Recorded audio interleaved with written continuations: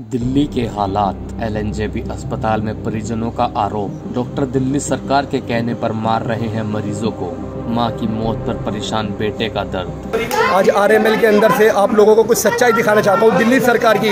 जो दिल्ली सरकार का सीएम केजरीवाल जो अपने आपको बड़े बड़े वादे करते हैं कि एलएनजेपी हो, क्या ऑल इंडिया मेडिकल हो आरएमएल हो। मैं आज सैटरडे मॉर्निंग के तरफ़ नहीं एकदम मदर को यहाँ पे लाके एडमिट कराया और 24 घंटे के अंदर इन लोगों ने मार दिया और कह रहा हमने मारा है और हमें कह रहा सीएम दिल्ली केजरीवाल का हुक्म है। वो कहता हमें दिल्ली का हुक्म है, मार दो कोई टेंशन नहीं है, आबादी ज़्यादा है, हम लोगों को मारने मारने का हुक्म दिएगा गाइडलाइन आ चुकी है। न एक सुनने को कुछ तैयार है। अब डॉक्टर क्या कहते हैं, हमसे मास्क हटा दें, ग्लूकोज हटा दें। हमारे हमारे पास इलाज करने इलाज करने का टाइम नहीं है। कोरोना का टाइम चल रहा है, हम दूर दूर से देख रहे हैं। और माइक पे लेके बोल रहा है, दवाई दे रहा है, दूर से फेंक के दे रहा है। वे टॉकिंग बहुत बदतमीजी गाली गलोच कर रही है। मैं आप सब लोग को दिल्ली वालों को बताना चाहता हूँ कि यहाँ पर दिल्ली में इतना बुरा हाल है जो दिल्ली के सीएम अपने आप को कहते हैं बीस बीस लाख रुपए का कहते हैं इलाज फ्री बीस रुपए का इलाज फ्री नहीं है। और सब यहाँ पर एक सेंटर और दिल्ली गवर्नमेंट सब एक हुए सब हरामी पन पे उतरे हुए पूरी पूरी। सब हरामी है। आप देख सकते हैं इन्होंने मेरी मदर को मार दिया है। मेरी मदर को आज इन्होंने मार दिया है। मैं सात बजे सही सलामत देख के गया हूँ। मेरे से बात हुई है उन्होंने मेरे से हाई हॉलो करी है लेकिन इन्होंने बाद में मेरे जाने के बाद एक घंटे के अंदर उनके अंदर इंजेक्शन दे दिया पॉइजन का। और वो उनको खल्लास कर दिया। और ये कहते हैं कि हम कुछ नहीं कर सकते। और ऐसे काम रोज़ाना सुबह से लेकर रात तक कितनी बॉडी डेड बॉडी देख चुका हूँ मैं चौबीस घंटे के अंदर।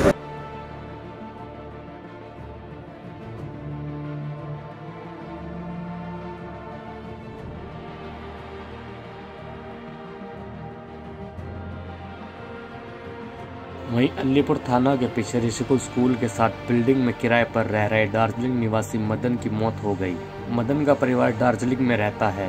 मृतक मदन का कोई नहीं होने से 12 घंटे से अधिक घर में पड़ा रहा शव। आस पड़ोस के लोगों ने पुलिस को जानकारी दी, लेकिन कोई मदद नहीं मिली।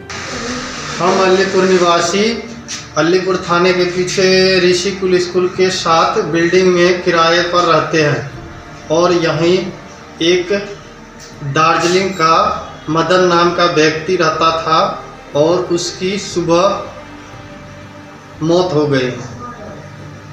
और हमने पुलिस को इन्फॉर्म किया कि यह कोरोना की बीमारी से मरा है, जिसको लेकर प्रशासन को भी जानकारी दी गई। लेकिन प्रशासन ने सुबह से और रात आठ बज गए, अब तक कोई कार्रवाई नहीं हुआ।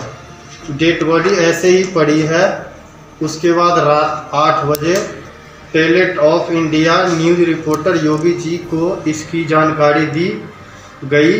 योगी जी की जानकारी देने के आधा घंटे बाद एंबुलेंस वाले का फ़ोन आया और उसके बाद प्रशासन अधिकारी डेड बॉडी लेकर चले गए।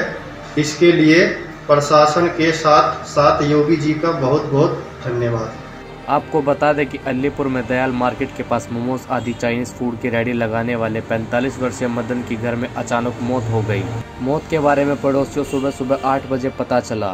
पता लगने के बाद 100 नंबर और कैट्स एंबुलेंस को इसकी जानकारी दी गई। जानकारी होने के बाद 100 नंबर पुलिस और स्थानीय पुलिस मौके पर पहुँची। वहाँ का जायजा लेकर उन्हें लगा कि शायद मृतक मदन की मौत कोरोना से हुई है, जिसके चलते स्थानीय पुलिस ने एसडीएम अलीपुर और डीएम नॉर्थ को इसके बारे में जानकारी दी। लेकिन देर शाम नौ बजे तक कोई भी कैट्स एंबुलेंस और न ही कोई शव वाहन वहाँ से मृतक की बॉडी लेने आया। आपको बता दें, मृतक मदन हिमाचल का रहने वाला है और काफ़ी समय से अलीपुर में स्कूल के साथ परिवार सहित रहता था, लेकिन कुछ दिन पहले ही उसके परिवार वाले गाँव चले गए थे। फ़िलहाल वह अकेला ही रह रहा था। पड़ोसियों की माने तो मदन कल रात तक बिल्कुल ठीक ठाक था और सही से बातचीत कर रहा था।